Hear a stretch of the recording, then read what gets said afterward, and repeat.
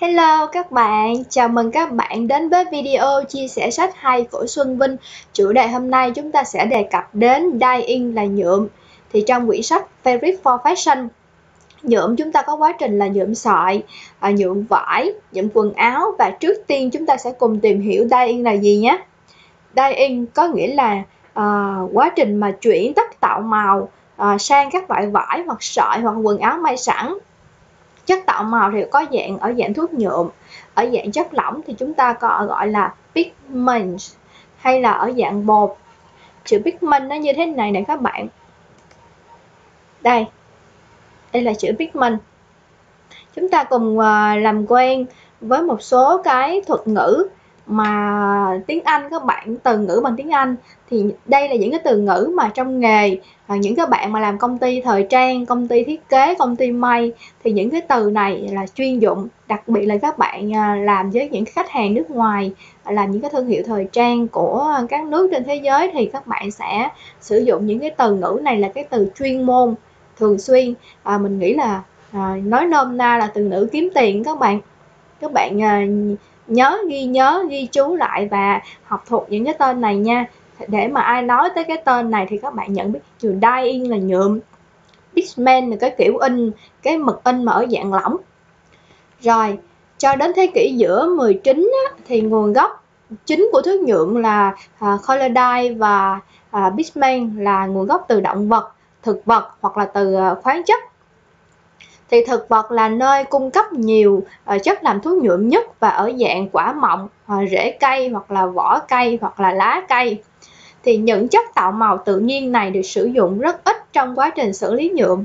Thì thuốc nhuộm tổng hợp đầu tiên Movin hoặc là Aniline Purple được phát minh một cách tình cờ trong một cái thí nghiệm y tế thất bại vào năm 1856 thì bạn làm quen với cái từ là Movin đây. Movin đây là cái thuốc nhuộm tổng hợp đầu tiên là Movin và thứ hai là Aniline Purple đó. Rồi, cuộc cách mạng công nghiệp là cái chất xúc tác cho sự phát triển của ngành công nghiệp dệt. Và kéo theo đó là sự phát triển của thuốc nhuộm tổng hợp. Kết quả là cho ra đời nhiều loại màu sắc đa dạng của thuốc nhuộm với độ bền màu cao hơn. Và thuốc nhuộm này càng có màu sắc ổn định hơn khi giặt và khi mặc à, khi mà mình giặt liên tục với giặt nhiều lần thì ngày nay các loại thuốc nhuộm khác nhau được sử dụng cho các loại vải thông thường khác nhau và cũng cho các giai đoạn sản xuất hàng dệt khác nhau đáp ứng được yêu cầu của người tiêu dùng. Và đầu tiên chúng ta cùng đi tìm hiểu à, yarn dyeing, cái phần nhuộm sợi nha. Này, phần nhuộm sợi các bạn làm quen với cái từ ngữ này. Yarn Dying Thì yarn Dying là cái gì? cái sợi được nhuộm màu tùy chọn trước khi dệt thành vải cho cả hàng dệt thoi hoặc là hàng dệt kim luôn thì cả các hai loại sợi phổ biến nhất được dùng để nhuộm sợi ở dạng thô là sợi bông cô tông và sợi len hoặc là sợi acrylic acrylic là cái sợi len nhân tạo các bạn. Thì các loại vải dệt từ sợi nhuộm có xu hướng bền màu tốt hơn khi mặc hoặc là giặt nhiều lần so với lại các loại vải nhuộm à, vải mọc tức là người ta dệt vải mọc xong rồi mới đi nhuộm cái vải à, nhuộm vải sau khi dệt đó các bạn. Thì bất kỳ loại vải nào có dạng sọc stripe hoặc là check hay là kiểu trang trí kiểu thiết kế dành cho vải uh, vu vân là cái vải dịch thôi á, thì người ta đều sử dụng cái phương pháp gian đai này tức là nhuộm sợi mình à, tìm học thêm tới cái từ là vải stripe và vải check nha. Đây cái từ stripe đây các bạn. Còn cái từ check đây đây là cái vải mà sọc á. Ví dụ bạn thấy à, những cái à, nhất là dành cho nam hay mặc những cái vải mà sọc caro hay là những cái sọc uh, của cái cái đồ vét. Thì uh, nam hay những bật những cái vải sọc này thì người ta cái quá trình là người ta sẽ nhuộm sợi.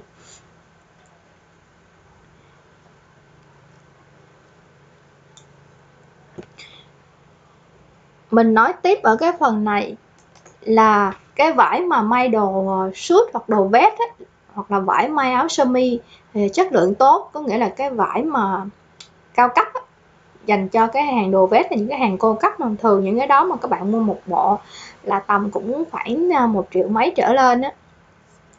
Thì hầu hết được nhuộm danh đai và ngay cả cái vải đó là vải trơn ví dụ áo sơ mi trơn thì người ta cũng sử dụng cái phương pháp danh đai luôn. Thì à, tại sao mà cái danh đai này á thì à, à cái giá thành của nó sẽ mắc hơn cái vải mà cái cái vải mà nhuộm sau khi dệt?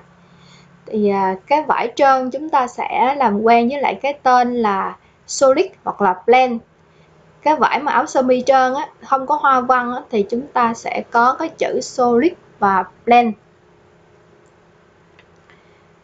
à, đâu rồi ta? Đây. They are of solid and blend color này các bạn. Chữ blend này ở những cách tập trước á, Vinh có giới thiệu qua cái phần vải blend của uh, vải dệt vải dệt thôi vải len tức là vải về sợi dọc sợi ngang còn vải dệt kim vải len của nó là vải gì các bạn? Vải jersey à, mình uh, nhớ nha mình ghi chú lại những cái vải này nha. À, solid blend có nghĩa là màu trơn màu không có hoa văn vậy chỉ là cái màu trơn thôi. Rồi mình để cho các bạn nào mà muốn ghi thì các bạn ghi nha rồi tiếp theo là uh, khi mà uh, mình may cái ờ, đồ vest đồ suit nhắc lại mình nhắc là chút xíu là uh, những cái vải bắt tiền đó thì uh, những cái sản phẩm mà um, giá thành nó cao như vậy thì người ta sử dụng cái phương pháp gian đai mà gian đai thì nó mắc hơn cái vải nhựa sau nhợt sau khi mà dệt. Thì cái quá trình gian đai tại sao mà nó mắc tiền?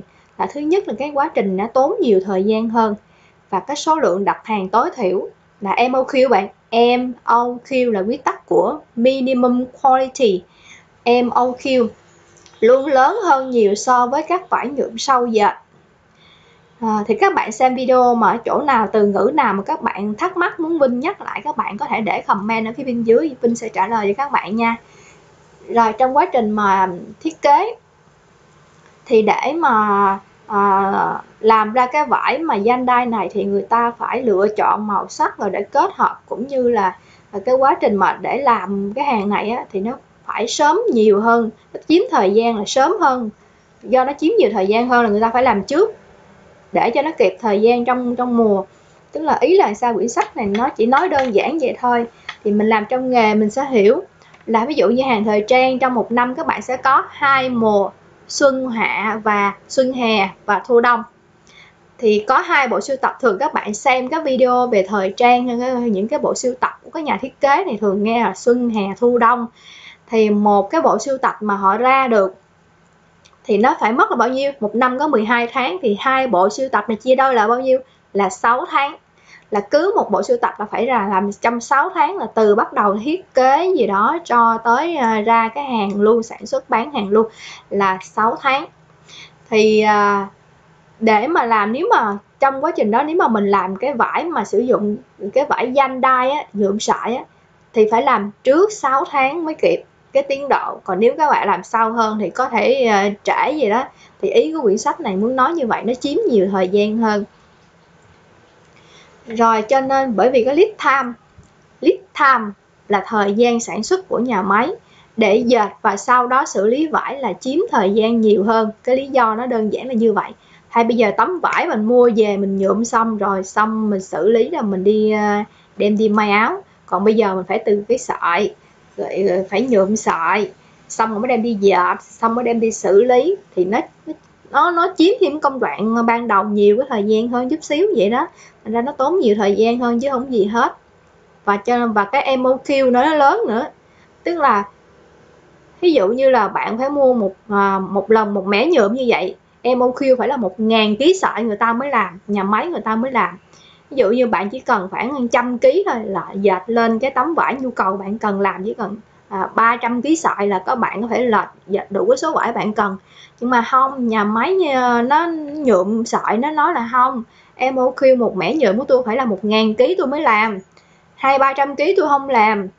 Đó là như vậy dẫn tới là sao? Mình nhu cầu mình có hai ba trăm mà mình mua phải tới một ngàn ký người ta mới làm. Là cái thứ nhất là nó tốn nhiều chi phí hơn. Cái thứ hai là sao? Tốn nhiều thời gian hơn. Đó là cái ý của quyển sách muốn nói rồi mình sẽ quay lại với cái thuật ngữ mà hồi nãy mình có nhắc trong cái từ đó là cái từ lead time. Quyển sách tô đậm lên cho mình rồi các bạn. Đó các bạn quen với cái từ này lead time. Lead time mill. Mill là nhà máy. Mình hay dùng chữ mill nha. Trong công ty may hay dùng chữ mill mill là nhà máy. Ở đây đang nói tới nhà máy là nhà máy nhuộm sợi nhà, nhà máy dệt vải nhuộm sợi đó. Lead time là thời gian sản xuất của xưởng đó các bạn.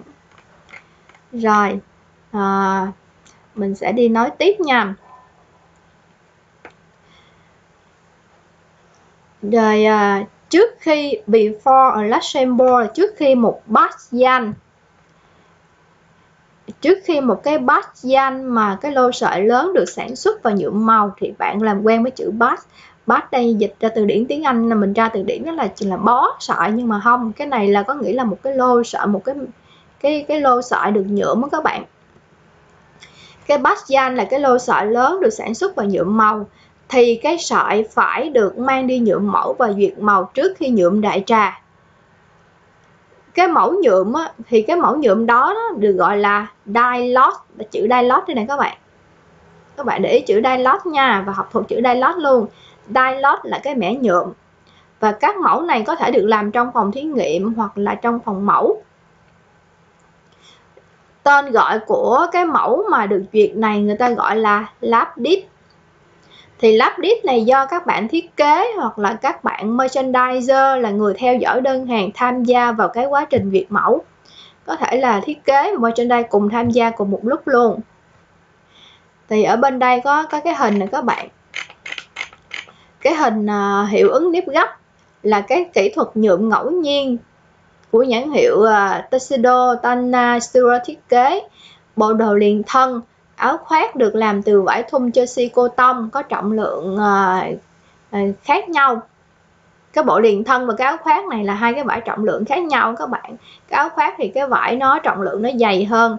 Còn cái bộ đồ thì cái trọng lượng bên đây nè các bạn. Bên ngoài cái áo khoác cũng là vải Chelsea cotton nhưng mà trọng lượng cái sợi nó dày hơn sợi nó to hơn nó dày hơn còn bên trong là sợi uh, cái bộ đồ liền thân. Uh, bận nó body á, thì cái ta dùng cái sợi nó mảnh hơn. Để mà dệt lên hai cái loại vải jersey giống nhau mà sát cái sợi thôi các bạn.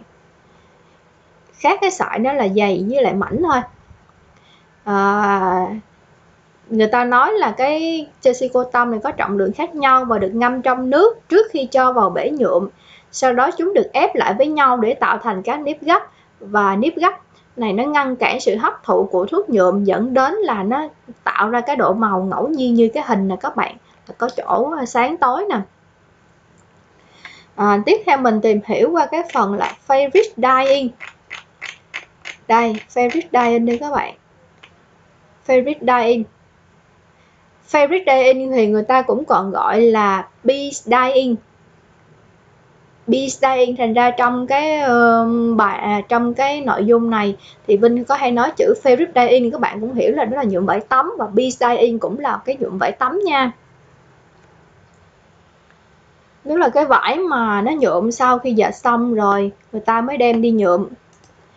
Thì cái ưu điểm của cái việc nhuộm vải là các bạn có thể mua số lượng ít hơn nhiều so với danh danh đai như mình đã miêu tả ở bên trên thì giúp cho các bạn có cái bảng màu vải phong phú trong kho dễ dàng hơn và ít tốn kém hơn nhiều. Hơn nữa mà thời gian sử dụng cho cái quá trình mà liên quan đến vải sẽ ngắn hơn nhiều. Thì đối với cái nhà cung cấp hoặc là cái công ty mua vải về à, nhuộm sẽ ít rủi ro hơn bởi vì vải vẫn có thể ở cái trạng thái là race là mọc chưa nhuộm và có thể lưu trữ trong kho. Cái này có nghĩa là sao? Có nghĩa là à, nhà máy họ mua mọc bây giờ mua một uh, à, mua mọc về để mà nhuộm nhuộm mua sợi về để nhuộm cái vải mọc hoặc là mua nguyên cái mọc về để xử lý đi nhuộm vải mọc vải mọc tức là cái vải người ta nhuộm từ cái sợi uh, uh, giống như bây giờ mình nói ví dụ như vải cô tông đi cái sợi cô tông ta nhuộm về cái màu nó màu cô tông luôn chưa có nhuộm hết. Bây giờ mua cái vải đó chưa có nhuộm đem về nhuộm màu đỏ chẳng hạn. Bây giờ thôi nhuộm màu đỏ thôi tôi đổi ý tôi không muốn nhuộm màu đỏ nữa. Giờ tôi không xài tôi để đó mùa sau tôi xài thì cái vải đó vẫn có thể lưu trữ trong kho được. Chẳng hạn như vậy thì nhuộm vải tắm là cái lựa chọn mà hoàn hảo cho các sản phẩm à, màu trơn không hoa văn. Nó cũng giống như là à, vải à, gian đai thì cũng thể sử dụng để nhuộm màu trơn không hoa văn. Cho cái vải mà cô tông dịch thôi cũng như các vải cô tông dịch kim như là cái vải mà chelsea lightweight chelsea lightweight chelsea là trọng lượng nhẹ vải chelsea trọng lượng nặng và vải interlock. Và vải à, heavier interlock có là vải à, vải interlock mà trọng lượng nó nó nó nặng hơn. À, interlock mà trọng lượng nặng hơn đó là vải mà để may áo ấm đó các bạn. Và vải please.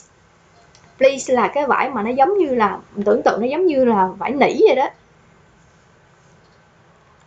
Hoặc là những cái đồ bơi màu trơn và những cái vải mà à, làm đồ lót thường được nhuộm beach dyeing là nhuộm vải tắm thì các loại vải len làm áo khoác ngoài dày nếu mà có màu trơn thì cũng thường được nhuộm là beach dyeing. Thì trước khi một mẫu nhuộm cuối cùng được duyệt sử dụng thì người ta làm lắp dip trong phòng mẫu. Cũng giống như là gian dyeing người ta cũng phải làm lắp dip để duyệt trước khi sản xuất hàng loạt. Thì lắp dip ở đây à, các mình cho các bạn xem hình nha. Lắp dip là cái gì? Đây các bạn xem ở cái khúc bên này. Đó là lắp điếp các bạn. Đó đây là cái lắp điếp nha cái lắp đít ở đây là một cái miếng vải nhỏ.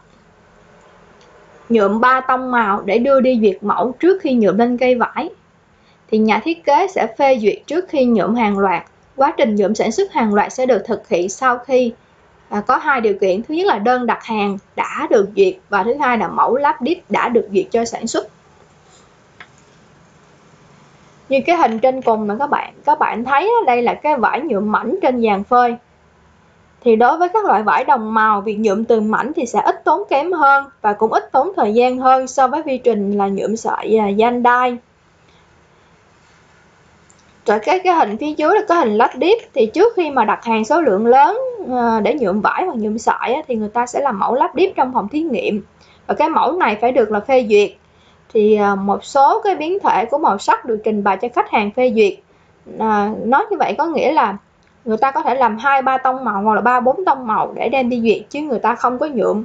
À, ví dụ tôi muốn màu hồng cái bên tông này à, thì bên nhà sản xuất người ta chỉ đưa một màu là không có. Người ta sẽ đưa cho các bạn hai ba option để lựa chọn và để duyệt. Rồi khi mà cái việc lựa chọn á, đã được duyệt thì cả nhà máy và khách hàng đều lưu giữ một mẫu à, một mẫu duyệt tức là mẫu lá đít này để sử dụng để kiểm tra chất lượng trong quá trình sản xuất số lượng lớn. Rồi tới cái hình này, các bạn thấy đây là cái hình mà nhuộm vải thủ công trong một cái cửa hàng nhuộm truyền thống ở Ấn Độ. Thì hình thức nhuộm tay này ngày nay chỉ được sử dụng cho các miếng vải nhuộm nhỏ và các loại vải đặc biệt. Thì việc ngâm cái tay liên tục trong cái thuốc nhuộm này này này đã làm nhờ mất màu vĩnh viễn cái bàn tay của anh thợ thợ nhuộm nè rồi cái hình kế bên này là cái hình deep dye các bạn. Deep dye là ở các đoạn vải đã nhúng thuốc nhúng thuốc nhuộm rồi treo lên cây sấy khô. Deep dye là nhúng các bạn nhuộm ở cái dạng mà nhúng đó, là gọi là deep dye rồi các đoạn vải nhúng thuốc nè ta nhuộm ta nhúng từng đoạn với cái màu khác nhau sau đó người ta treo lên người ta phơi sấy khô ở trong cái xưởng ở Ấn Độ thì ở các nước đang phát triển thì các loại vải mà bead dye, fabric và các phương pháp xử lý thuốc nhuộm đặc biệt như là tie dye thì thường được xử lý với cái độ dài nhỏ. Đây chữ tie dye này tie là cột dye là nhuộm tie dye là nhuộm cột. Thì các bạn thấy những cái video mà ờ, uh, chúng ta làm tiktok hoặc là những cái video mà làm hàng thủ công ở trên facebook người ta hay share những cái video các bạn. Các bạn thấy là người ta bắt đầu người ta cột cái áo lại ta lấy cái áo áo thun trắng áo thun áo thun trắng người ta cột lại. Người ta xịt, xịt, xịt, xịt, xịt màu xung quanh sau ta để khô cái ta bung ra các bạn sẽ thấy cái đốm màu trắng à, một chỗ trắng cái chỗ màu. Thì đó là cái hình dạng là tie dye nhuộm cột đó các bạn. Thì những cái dạng cái hình thức mà tie dye hay deep dye này thì người ta chỉ sử dụng để à, mà nhuộm những cái sản phẩm mà à, nó nó kích thước nó nó, nó ngắn và nó nhỏ thôi có độ dài nó nhỏ thôi chứ mà, mà, mà sản phẩm mà nguyên một cái ờ, tấm vải lớn rồi đó người ta không có làm làm được cái dạng này. À, một số loại vải các bạn thấy mà người ta có làm mà à, cái hình mà tie dye hoặc là deep dye gì đó thì đa số của đó là in các bạn chứ không phải là nhựa. Các bạn mà à, thấy người sản phẩm bạn mua những cái sản phẩm mà các bạn thấy uh, hoặc là bạn mua nguyên cái tấm vải mà có cái dạng ờ, tấm vải dài thiệt là dài có thể là nguyên cây vải nguyên cuộn vải mà có cái dạng mà kiểu kiểu giống như mình cái kiểu của mình đang mặc là là tie dye nha các bạn.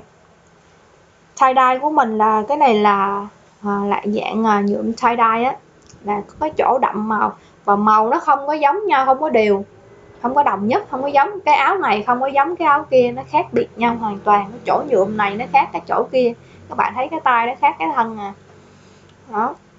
Thì đây là một cái dạng mà tie dye có thể là người ta may cái áo lên rồi xong đó người ta mới đem đi ờ, buộc người ta làm cái gì đó ta cột kiểu cách gì đó.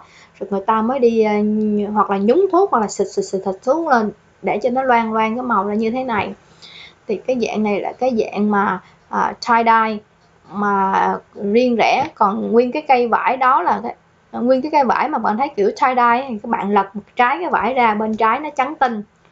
Bên ờ, mặt phải nó có màu, nhưng mà bên trái trắng tinh thì cái đó không phải là tie dye mà cái đó là in giả tie dye, chứ không phải là tie dye các bạn. Mình phân biệt như vậy nha. Hoặc là deep dye, các bạn thấy nguyên khúc vải ừ cái đoạn này màu vàng, cái đoạn này màu trắng, cái đoạn này màu cam, cái đoạn kia màu hồng, cái đoạn nọ màu xanh chẳng hạn. Thì nếu mà cái vải cuộn như vậy thì là người ta không có nhúng nổi nguyên cây vải mà như vậy các bạn là người ta in á. Cây vải ngắn nhỏ thì người ta làm được mà nếu mà trong sản xuất lớn mà sản xuất hàng loạt là à, cả à, cả ngàn cả triệu da vải thì người ta sẽ không làm như vậy được. Rồi tiếp theo mình sẽ đi qua tới cái phần mà gamon dye gamon dye là giống như mình nói cái tie dye của mình là một cái dạng gamon dye này nhuộm trên áo nhuộm trên cái sản phẩm nhuộm trên cái hàng may mặc đã thành phẩm nhuộm trên quần áo may sẵn. Thì đây là cái phương pháp nhuộm mà ít bền màu ít bền màu nhất. Thì từ ít bền màu từ tiếng Anh người ta dùng từ chuyên ngành là color fast. À, tính từ là color fastness. Đây mình sẽ mở cho các bạn xem cái từ nó như thế này. Gamon giờ mình đài đây đây color fast cái từ này nha các bạn. List color fast method method là phương pháp. List là ít ít color fast là bền màu phương pháp ít bền màu nhất. Giờ mình đài là cái phương pháp mà nhuộm ít bền màu nhất. Rồi với cái kỹ thuật mà gamon á, cũng mang lại cho các nhà sản xuất dễ dàng tạo màu sản phẩm hơn bởi vì quần áo may sẵn có thể được sản xuất và giữ trong kho, sau đó được nhuộm màu. Thì sản phẩm phổ biến trong cái danh mục này thường là áo ti và những cái áo giá rẻ. Thì các sản phẩm may mặc được nhuộm có xu hướng là dư lượng thuốc nhuộm nằm dọc theo các mép đường may nổi lên. Và nếu như mà các chỉ may, dây chỉ may được sử dụng để lắp ráp quần áo à, có màu sắc và thành phần khác thì chúng sẽ kháng lại thuốc nhuộm và dẫn đến là màu của chỉ may và nó tương phản với lại cái màu thuốc nhuộm trên áo. Rồi mình uh, sẽ đi trong cái phần mà nhuộm này thì chúng ta sẽ uh, làm quen với cái thuật ngữ là uh, resist dyeing. Resist dyeing là kháng màu nhuộm. Thì đề cập đến cái phương pháp tạo hoa văn khác nhau cho vải bằng cách là ngăn cản thuốc nhuộm tiếp cận các phẩm chất nhất định của vải. Thì phương pháp phổ biến bao gồm là bôi sáp hoặc là dán hoặc là khâu che các vùng lại với nhau thì một phương pháp nữa là sử dụng các tác nhân hóa học trong thuốc nhuộm có tác dụng là đẩy lùi màu thứ hai khi bôi lên. À, tiếp theo một cái phương pháp nữa đó là wash and dry bath wash and dry dry bath dry uh, tiếng Anh như là gạo các bạn. Bath là dán lên. Thì đây là cái phương pháp mà dùng sáp hoặc là bột gạo được sơn hoặc là bôi lên vải và tạo thành cái hình thiết kế trước khi nhuộm thì sau khi cái chất chống thấm đã khô nó được loại bỏ bằng cách ủi để lộ cái màu bên dưới thì điều này có thể được lặp đi lặp lại nhiều lần để tạo nên một cái thiết kế phức tạp của một cái số màu nhuộm. Thì một số biến thể của phương pháp này có thể được tìm thấy giữa các nền văn hóa khác nhau trên thế giới ví dụ như là uh, vải batik từ Indonesia, Malaysia và Ấn Độ và vải ờ, uh, Rocasio, Suzon, uh, ờ, Katazome, uh, Yuzen và Tsushigaki từ Nhật Bản. Thì mình sẽ xem cái hình ảnh ở đây. Đây, cái hình đây. Các bạn thấy cái váy này là chiếc váy Metropolis Simply màu trắng, đậm chất tương lai sắc nét này có viền nhuộm màu hồng gây ấn tượng. Thiết kế bởi, nhà thiết kế là Camila Garon à, Kasperka thì từ một cái bộ sưu tập lấy cảm hứng từ phong cách art deco và metropolis của phim của đạo diễn Fritz Lang. Thì chiếc váy được làm từ lụa organza Sibley ly và nhuộm thủ công. À, cái hình tiếp theo đây cái cô đang à, chấm chấm lên trên tấm vải này các bạn. Đây là cái hình mà um, mà batik các bạn cái vải này là vải batik ấy, là một cái loại vải mà kháng nhuộm. Đây là một cái nghề thủ công cổ xưa và có thể là một cái quá trình phức tạp và tốn nhiều công sức.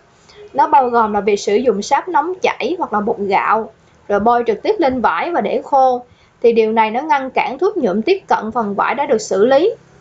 Thì các hiệu ứng ba chiều phức tạp có thể được tạo ra bằng cách lặp lại các quy trình.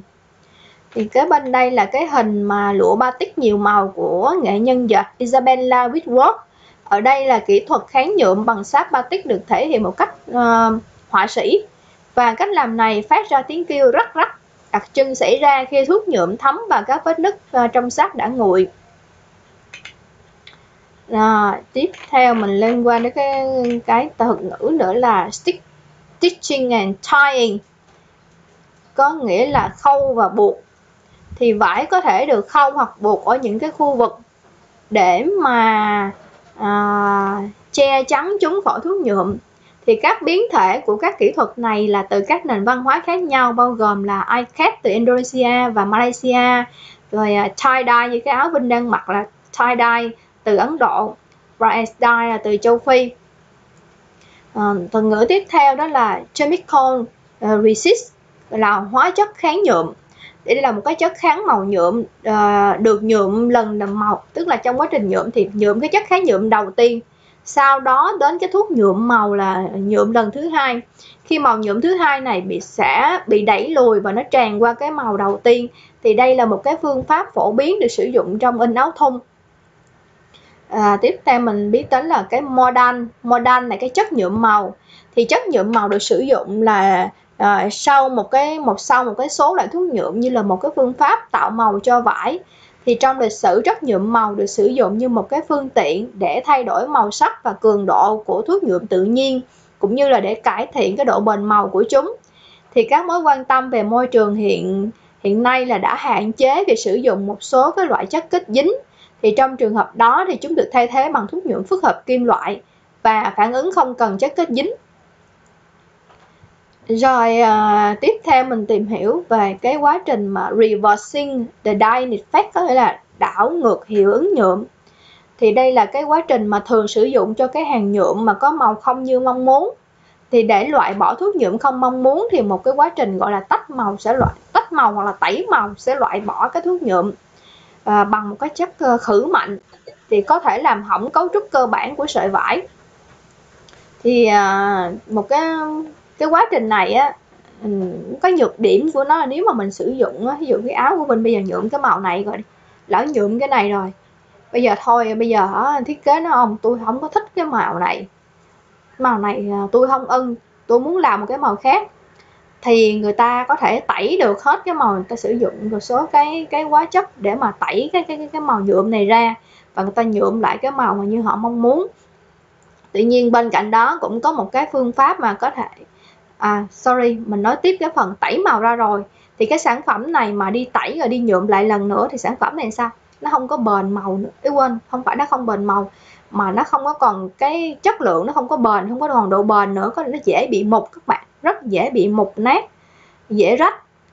Thành ra là cái phương pháp này á, nó tùy cái vải. Ví dụ như đối cái vải này là ờ, có thể tẩy rồi đi đi nhuộm lại được nhưng mà người ta hạn chế làm bởi vì kể cả cái vải mà dày nhất như cái vải đề niêm mà vẫn còn có thể bị mục đây là huống chi những cái vải mỏng như cái áo áo ti này của Vinh đang mặc.